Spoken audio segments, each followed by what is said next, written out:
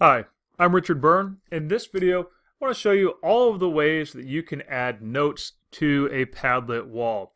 Over the last year, Padlet's added a bunch of new features, and so I thought it would be good to kind of summarize all the ways you can now add content to a Padlet wall. Let's go ahead and get started here. I'm already signed into my account. Let's make a new Padlet wall. And I'm going to use the standard wall format. You can use any of the other templates if you like, but we'll use this one. And for now, I'm just going to leave it with the randomly generated title and description. Of course, you can just click on that and change it if you'd like. And then you can change the background. I'll use the blueprint one. I'm partial to that one. Let's go ahead and choose a little icon for the wall. There we go.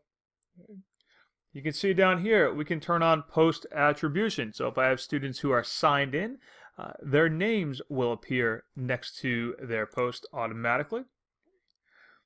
You can see I can turn on the profanity filter. And you'll notice there are options for commenting and adding reactions to notes that you or your students add to the wall. You can see we can vote up or vote down, give a star rating, uh, give a grade if you want to. I'm just going to use the like option. We'll click next. My privacy for this wall is going to be secret, which means anybody who has this link can view the wall and write on it, but it's not going to pop up in a random Google search. And I'm going to turn off the option to remake the wall. I'm not going to let people make copies of the wall. And for this demonstration, I'm not going to require moderation. Now we're ready to start posting. Now you can start posting by using the plus symbol in the bottom right corner. You can also just double click, or if you're on a tablet or touchscreen computer, you can double tap anywhere on the wall. And you'll see here by default, my name has been added to this. And we'll put in a little title and we'll say, my observation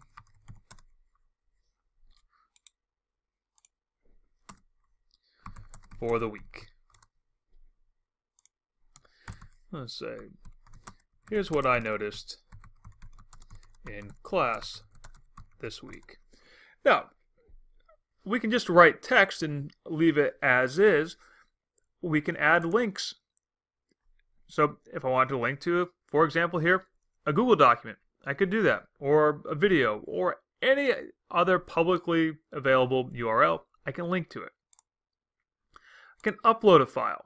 So I want to pick a file and go ahead and upload it, or I can pick something that I've previously saved on another Padlet wall. Let's go ahead and pick a file. And let's say I want to use this one as a picture. And so we'll upload that picture. That'll be a part of the wall. Now, once I've done that, you'll notice all I can do is continue to write a note. I can't add multiple elements to the same note. So let's add another note over here.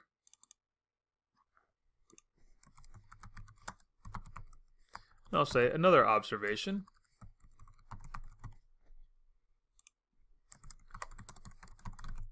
I'll say watch my video. Now, to add a video, I can do it in a couple of ways. If I've previously made a video, I could link to it.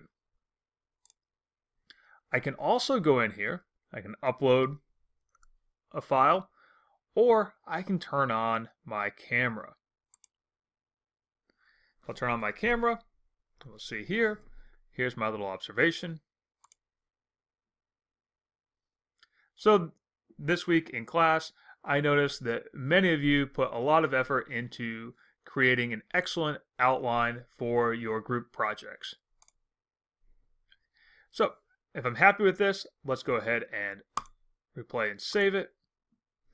And now we'll add that to our Padlet wall. And again, that'll be the media item that's added to that one note. So let's take a look at another way we can add notes to this wall. And double tap or double click. Say one more note. And this time we'll say listen. And we'll use that menu again and record ourselves talking. Hey kids, just wanted to let you know that this week I noticed you are all putting a lot of effort into planning your group projects, and I appreciate all of you being on task throughout the week. I'm happy with this note, replay, save, and it's added to our note. Let's add another note. Call it yet another note. And this time, we'll see we can add a picture just by snapping a photograph. And maybe I'll just hold up my camera and my notebook and say, all right,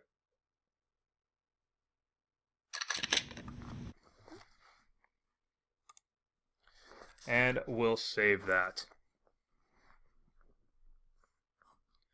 Let's add one more.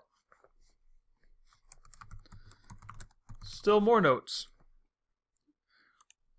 And down here, let's go ahead and draw.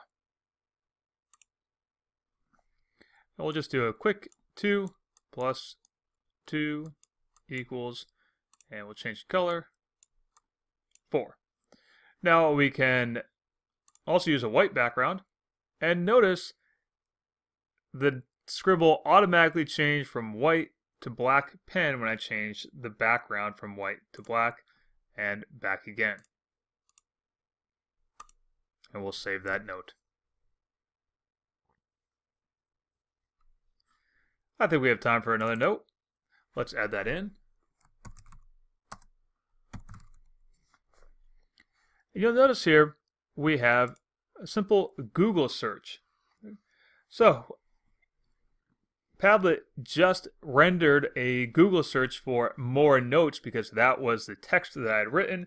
And sure enough, it brought up sheet music for me. Now, if I wanted to put in another Google search, I might say something like um, dog breeds. And you'll notice it looked for images. Will also look for videos. And it'll look for just links. So let's say I want to use that link. We'll say great information about dogs. And we'll save that note. And let's look at one last way to add a note to a Padlet wall, and that is by using the map function. So I've written out still more ways to use Padlet, and we'll say go to school And now we'll go down here and put in a map location. And let's put in a road map. And we want to look for a place. And we'll say we're going to Oxford Hills Comprehensive High School.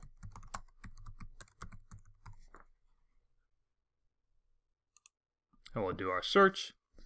There it is select show pin and save it. And now that map has been added to our Padlet note. So those are all the types of notes that you can add to a Padlet wall. As always, for more tips and tricks and tutorials like this, please check out practicaledtech.com and freetech4teachers.com.